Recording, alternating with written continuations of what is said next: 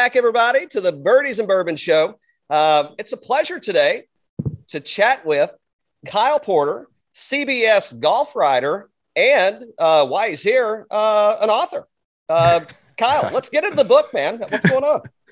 Not much. It's uh, it's a new year, uh, not a new season, but a new year, and uh, it's been already a ton of fun golf. So it's January 11th. I'm already excited about 2022. Uh, I know we're going to go back and talk a little bit about 2021, but you know, a lot of what's happening this year is just a continuation of what's been happening for a while, which is that there's a lot of, I think, really fun personalities and events and and uh, just different things going on at, at the highest level of professional golf. So it makes my job uh, a, a ton of fun uh, every single day to to write and talk about this stuff.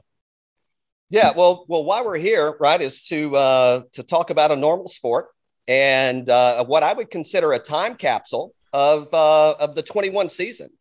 And uh, you know what uh, what what kind of led you down this path, capturing those moments. Uh, you know your your reflection of what happened during the season, right? How, how'd you get here? Why'd you capture it? Why is it written down for people to go back and and uh, and check out?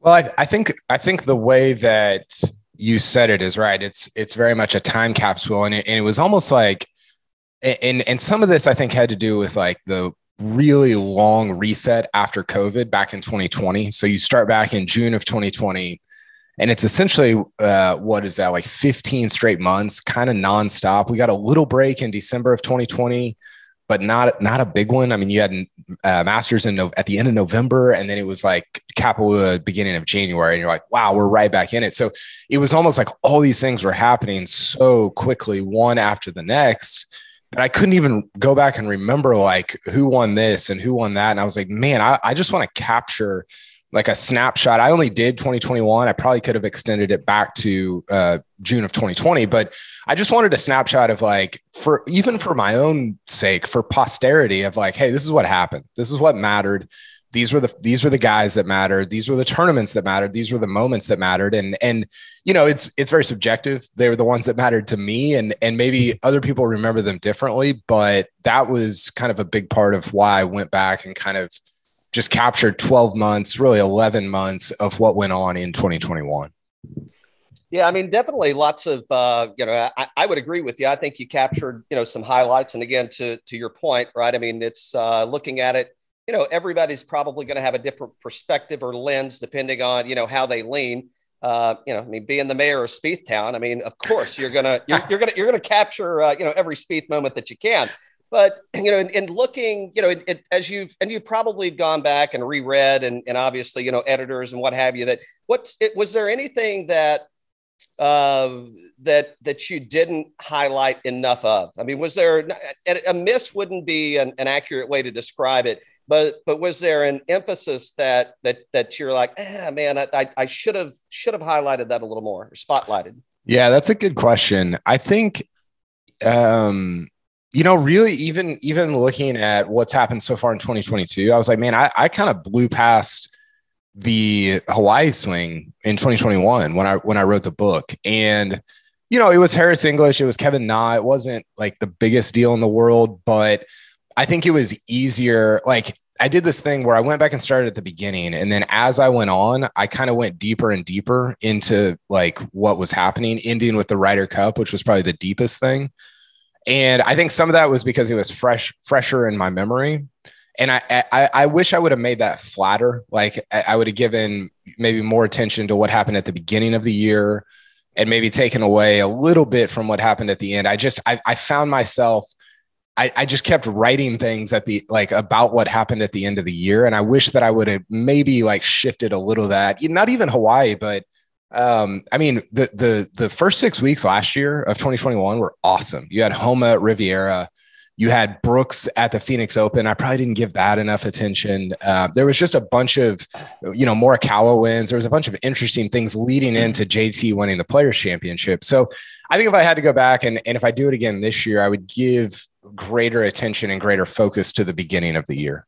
So, so a couple of call outs. Uh, if I remember correctly, uh, I mean, the book pretty much opens with uh, Kapalua and a guy running around with an umbrella in front of Bryson's ball. I, am just, just, saying. That's true. That's spoiler, true. Spoiler alert. So, uh, so, so that definitely happens. Um, and if you haven't, if you haven't read the book, if you haven't checked it out yet, I think it's, uh, is it normalsport.com?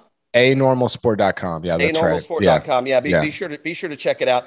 Um, I'm with you. Uh, the whole Brooks thing at uh, you know at Waste Management didn't see that coming. He definitely didn't make a DraftKings lineup. I'm like, uh, he, he's out there on vacation, man. He is, he's uh, you know he nothing's going to happen uh, on on the Brooks show. Not a true story. Uh, but yeah, I, I can kind of see where you're going, and you know as you kind of flatline, right? Or, or, you know, is there an equal amount of attention on every event that happens? You, you brought up a, an interesting character and I referenced Spieth earlier. Dan and I are both Spieth fans. And, uh, you know, like, uh, you know, in anything the guy does, right? And, and when, we, when we said the mayor of Spieth Town, I mean, we're thinking there's a movie there. Just, there is, there is definitely. you and Taylor, Terrell Sheridan, CBS All Access, here we come. just, just, just saying. Uh, I, I want to go back to, you mentioned Collin Morikawa. Yeah. And, and, and he's on a, um, would you, when you look at what Collin's done so far, would you say that he is on a Spieth trajectory at and you know given their you know at the same time in their career would you say he's there or or well on his way to be there I, I think he's there. I think the the uh, this is so hard to to to figure out because, and this is I love talking about this stuff, but it's hard to figure out because Spieth didn't win as much and he didn't win as many majors uh, in as few tournaments as more. Morikawa has only played like sixty events, right? Mm-hmm and he's won what six, five, I think five PGA five. Tour European uh, Europe, the race to Dubai, mm-hmm. two majors, and you're like, wow, that pace is historic. But the difference is Spieth was like 19, you know, and and Morikawa had all those years at Cal.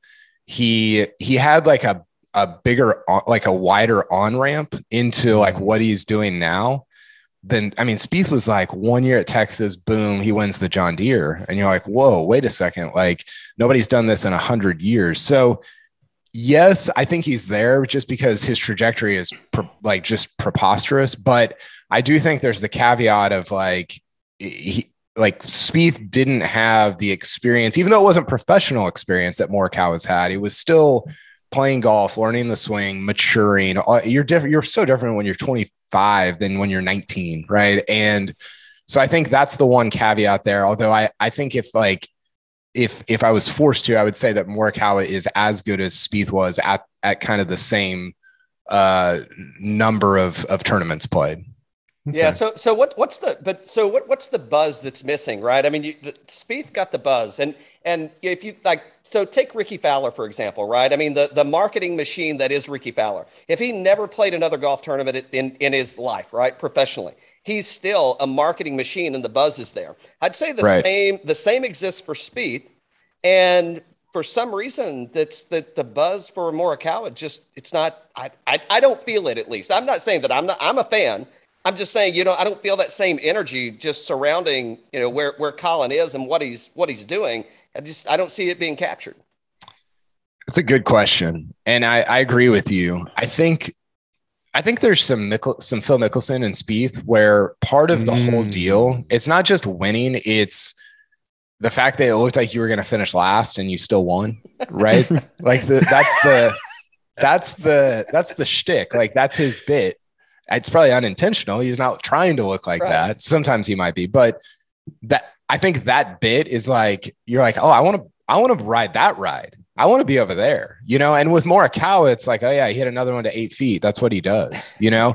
and so you get to the same endpoint, but you you do it very differently. I, I almost compare Morikawa to like a DJ. The, their personalities are different, but mm-hmm. the way they play, it's just like, oh, right, uh, you know, drive right down the middle, hit it to eight feet, make or miss your birdie putt and then on to the next hole. Yeah. And and so it was super interesting that they played together at the Ryder Cup. Remember at, at uh, I think it one or two match I think two matches together. Because even though they they they are very different as people, like it that their mold on the golf course is almost the same. And it's very I mean, good golf, Chris Solomon of No Laying Up says this good golf, really good golf is pretty boring right? You're just right. you're hitting it to 15 feet and you either miss the putt or you make it, and then you go to the next one. And Spieth, is like the opposite of that. He plays he plays lunatic golf, which is what Phil did, which I think is what made Phil so um, compelling and so interesting as a as a you know marketing vehicle for the last 30 years and i think Spieth has a lot of that in him as well Hmm. It still is. I mean, look, like Phil at 51 years old, and st- you know, it's like uh, probably not going to make the weekend, or I may win a major. You never know. and and, and it, it's like you know, it's you, will you'll, you'll take it right at, at, face value. And and I love the fact that Phil is like the uh, you know he's he's the he's the working man's man. You know, he's the everyday golfer as he's chugging twenty thousand dollar bottles of wine poolside, right? It's like, oh yeah, every man's doing that, right? yeah, well, that that's, I mean, that's his greatest like trick, if you want to call it that, is like convincing people that he's just like them. And then doing what you said. I mean, Phil hasn't flown, you know, commercial in since he was like 17, probably. and you're like, well, wait a second. I thought how, how, like it, it that's that's his whole like thing. And he and he's done it really well but i i don't know how there's not a ton of truth to it i don't think when you dig right. down right so cal, everybody thinks of golf and tennis as kind of like country club sports right but yeah cal cal's from eastern tennessee and what attracts him to golf is it's a combination between NASCAR and WWF right now. in terms of in terms of just how weird it's got. Has it gotten weirder since you became a fan of golf as a kid, or what's going on? Yeah, so I think what I got asked this question a couple months ago uh, in a different way, but I think what's happened is it's not necessarily gotten weirder, but it's more ubiquitous, and so there's more weird moments to capture. So like before when um let's say the Patrick Reed thing where you know the ball at Torrey where it's like did it plug? Did you pick it up? Whatever.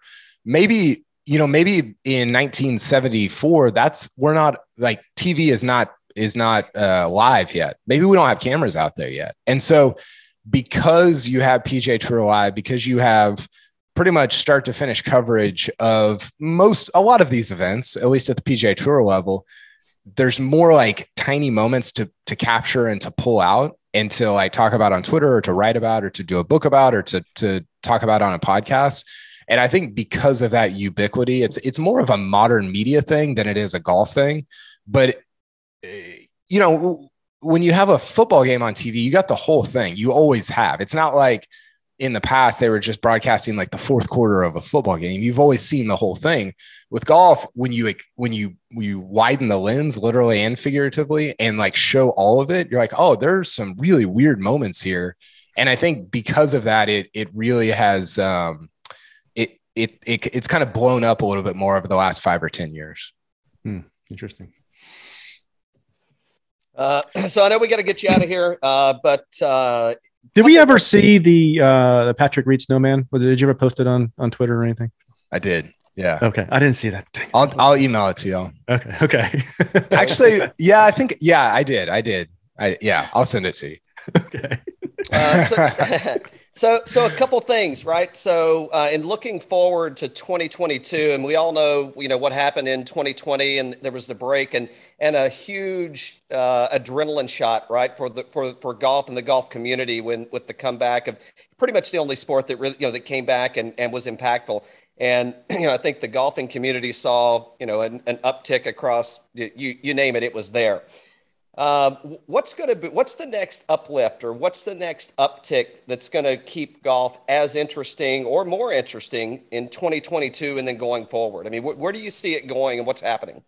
Ooh, that's interesting. You know, the thing that I've been really drawn to recently, and this is a little I don't, this is probably unfair because it might be a life stage thing for me. I've got pretty fairly young kids. I've got, uh, I have four kids and they're all under nine. So the, the first reaction that I have to that is um, shorter golf. So six hole golf, nine hole golf, 12 hole golf. And maybe that's a derivative of kind of what you're talking about of like people being outside more, playing more. Hopefully that's still happening. I haven't looked at the numbers recently, but I'm I've been really into one of my goals this year is to just get outside and play more par three courses with my sons. You know, and I mm-hmm. think that that's a very different thing than like being buoyed by being the only sport that's on TV. You know, those are those are like different worlds almost. But sure. I think I think there's a a little bit of a movement, and maybe this again, this is hard because I'm like too close to it a lot of times. You guys probably are as well. It's hard to tell like what is just my world and what is like actual reality for everybody. But I think there's a I think there's a path where it's like, hey, I went and played six holes, and that was my that was my goal was just to play six holes, and it took an hour. And I think that kind of thing can really compel and draw people in. It doesn't have to be, you know, I played 36 on a 7500 yard course you know every weekend. Like that's i don't have time for that. Most people don't have time for that. It doesn't even sound that fun honestly. And so i'm curious to see kind of where that if we're talking just recreation golf like where that heads into the future. Yeah. What, yeah. what about professionally? I mean is there uh and, and i mean there's no I, I, I don't know what the answer is but what you know what, where do you see professionally right from a P, pga perspective what's the what, what's the what's the next trigger that's going to hit that's uh, like you know oh shit here we go.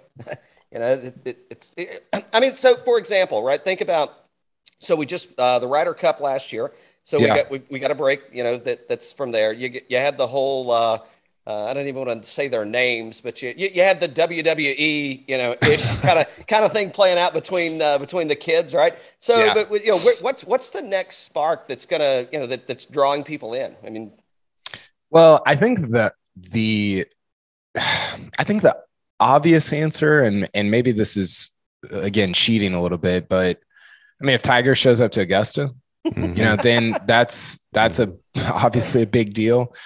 I, I I'm kind of split on whether he's going to or not. He looks so good at the PNC that you're like, mm-hmm. man, he's got a hundred and whatever 10 days to to figure out how to walk Augusta essentially. I mean, yeah it seems like it could happen. I personally like I, I hope and think that he could show up at St. Andrews and that would be his first one back. I, hmm. I think that's if he's going to win another major, I think that's his chance. Is for sure, is, for is, sure is, is, the British. I think that's a chance. But did you? So did you catch Phil at the um, at the at, at Sentry when I don't know the first or second round, but when they were interviewing him and he was talking about how tired he was and how hard yeah. of a walk it was. Yeah. And I don't, there was something in my mind that just kind of said, did he just spark something? And, and is that an innuendo into, uh, Hey Tiger, you can still do it. I, I don't know.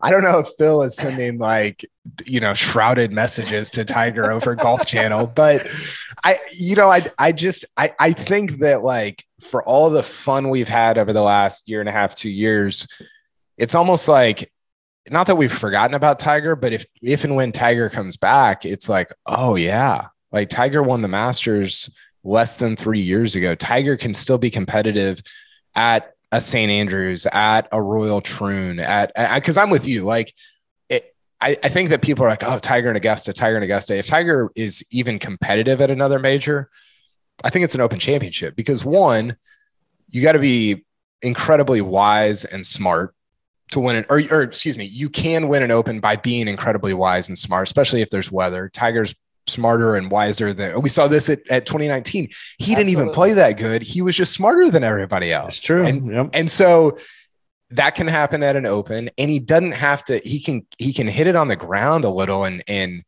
and just kind of like I don't want to say bunt his way around some of those places, but those are places where he can apply. Look at, look at, look at Tom Watson in uh, yeah. with 17, 18. Yeah, I mean, you know, and and he's 20 years old, you know, older yeah. than the oldest guy that was out there. So I mean, he can definitely, you know, just uh, yeah, little knockdown shots and uh, yeah, make some putts. So yeah. Okay, I got before I go, I got one for you guys. So I had to give predictions on CBSSports.com for this year of who would win, which we do this and it's like I have no idea. I, I don't even know who's going to win majors when there's like three holes left. Much we're, less. We're, we're, not really into golf. We, we much much less five five months in advance. So, uh, major prediction winners. Do you guys have you guys made them? Do you have them? Uh, kinda, kinda. I, I, I do think. Uh, I think our most well, I shouldn't say most recent.